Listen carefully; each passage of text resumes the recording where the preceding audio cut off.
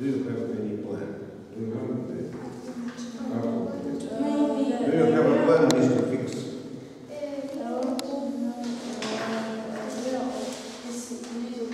Of little triangle? Yes. This will be, okay, suppose you find the area. Well, okay, have you found this area? You can read. This is square. You mean the sum of the four is the, this is not the answer. How big is this area?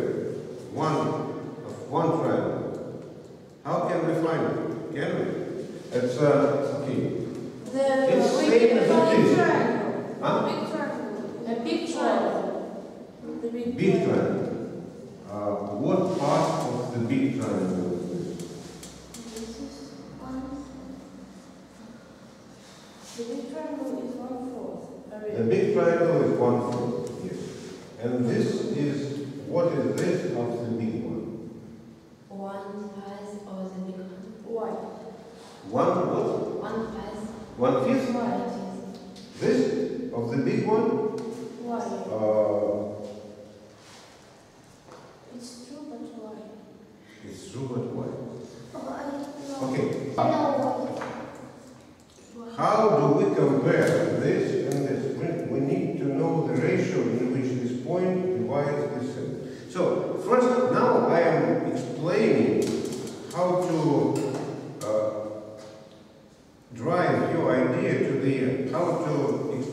extract solution from your idea. Maybe it's not the shortest possible way, but we will go this way because when we solve problems, we start with not with easy ways, we start with the way that we can find. Yeah, sometimes there Сначала мы решаем задачи, которые может не очень хорошим способом, потом мы найдем более хороший. Но чтобы сейчас решить, надо найти отношение этой площади к этой. Потому что это одна четвертая, а сколько это составляет Это на пятое, это Потому что со стороны стол здесь. What about this one? А, ну, Why? это вообще а, Why? а, представьте, что это А. А. Здесь будет А. Здесь будет А. А,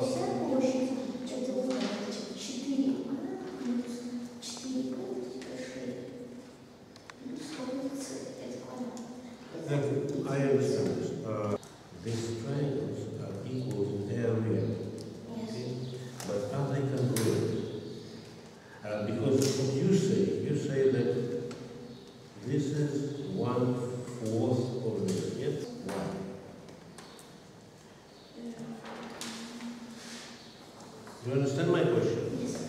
If they were congruent, then- then it would be okay, but you only prove that they have the same area. Yes. Hmm.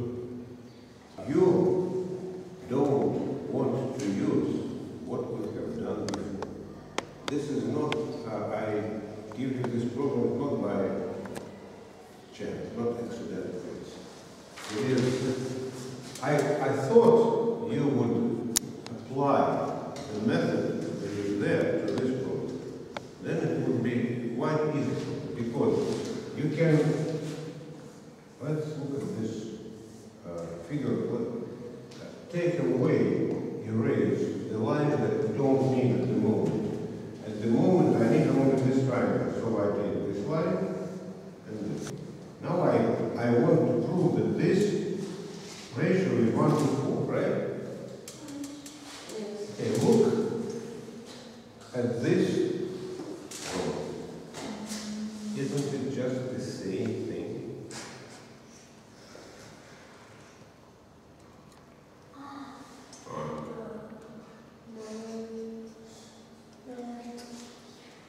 Yeah, stupid.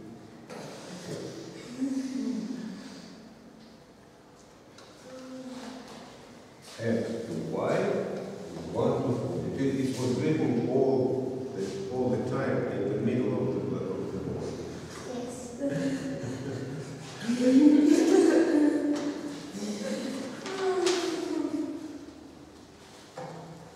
So it is one to four. And then there are, okay, one way is that if we take the uh, this four triangles, each of them is one fourth. So the sum is one, and they cover the square except the interior, except this figure. So this is the whole. And but they cover the triangles twice. So the sum of the triangles is equal to the whole. Yes, yes, there. So we must multiply one twentieth by four, which is one fifth. And this problem is called one fifth problem. Because uh, the next problems will be similar. One something or something, something problem, but I can give you the name of the problem only after you solve. it. Because if I give you the name of the problem before you solve, it, you will know the answer. Uh, But we all want. Okay, this is only one possible solution. Now I will show you another one, and then another one and another one. So there will be several. They are all very nice. Uh, but um, the solution we have found now, actually it was the most general one because you can apply it to any parallelogram just as well as this. And by doing the same thing, we will find this array is one fifth, right? So this solution is applicable to any parallelogram.